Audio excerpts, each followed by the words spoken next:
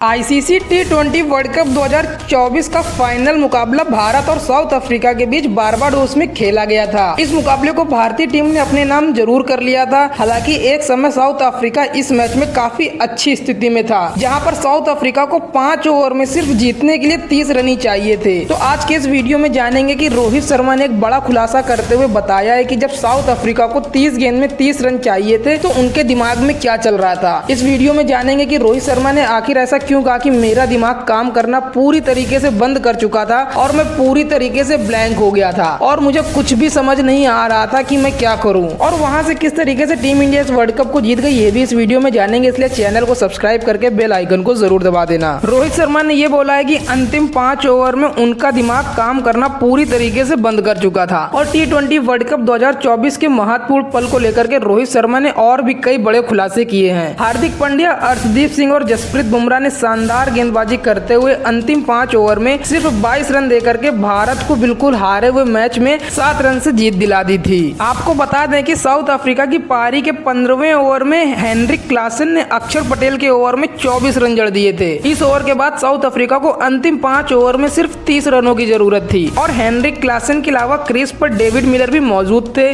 भारतीय टीम के कप्तान रोहित शर्मा ने यह खुलासा किया कि क्लासन आक्रामक बल्लेबाजी कर रहे थे, तब उनका दिमाग काम करना पूरी तरीके से बंद कर चुका था। हालाँकि भारतीय कप्तान ने कहा कि उन्होंने अपने टीम के साथियों को कूल रहने को कहा और इसके बाद टीम ने जीत भी दर्ज कर लिया। रोहित शर्मा ने दल्लास के एक इवेंट के दौरान कहा कि हाँ मैं पूरी तरीके से ब्लैंक हो गया था। मुझे कुछ भी नहीं समझ में आ रहा था कि मैं क्या करूँ। हालाँकि उस समय मेरा पूरा फोकस था कि हम किसी भी तरीके से इस मैच को जीत जाएँ और सभी खिलाड़ियों को शांत रहना बेहद ज़रूरी था, ताकि हम अपनी योजनाओं के तहत खेल सके। जब साउथ अफ्रीका को अंतिम पाँच ओवर में तीस रनों की ज़रूरत थी, उसके बाद जिस तरीके से हमने गेंदबाजी की, वो सच में कमाल की बात है। हमें बस अपने काम पर फोकस करना था और ज़्यादा चीज़ों के बारे में नहीं सोचना था। हम लोगों ने जल्दबाजी नहीं की और इसी वजह से टीम ने जीत भी दर्ज कर लिया। आपको बता दें कि अंतिम ओवर में साउथ अफ्रीका को जीत के लिए 16 रनों की ज़रूरत थी और हार्दिक पांड्या ने पहली गेंद डेविड मिलर का विकेट लेकर के इस मैच का रुख पूरी तरीके से भारत की ओर ला दिया था। भारतीय टीम अब 27 जुलाई से श्रीलंका का दौरा करने जा रही है और इस दौरे में भी टीम ज़बरदस्त प्रदर्शन करने की ओर देख रही है। रोहित शर्मा, विराट कोहली और जसप्रीत बुमराह को इस सीरीज़ में आराम दिया जा सकता है। भारतीय टीम के कप्तान रोहित शर्मा, अनुभवी बल्लेबाज विराट कोहली और शानदार ऑलराउंडर रविंद्र जडेजा ने ICC T twenty World Cup 2024 के खत्म होते ही इंटरनेशनल टी ट्वेंटी क्रिकेट से संन्यास भी ले लिया है। वेल गाइस क्रिकेट से रिलेटेड ऐसे इंटरेस्टिंग फैक्ट्स एंड अपडेट्स को जानने के लिए तथा रिएक्शन वीडियोस को देखने के लिए चैनल को सब्सक्राइब करके बेल आइकन को ज़रूर दबा दें, क्योंकि क्रिकेट से रिलेटेड बहुत ही इंटरेस्टिंग वीडियोस यहाँ पर आते रहते हैं। हम मिलते हैं बहुत ही जल्द एक नए वीडियो के साथ। Thank you